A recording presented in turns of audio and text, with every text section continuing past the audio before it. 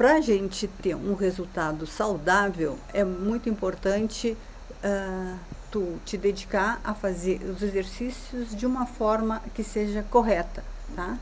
Sem excesso, sem de menos e no nível assim de alta intensidade, isso que é importante, tem que ser alta intensidade e por curto espaço de tempo.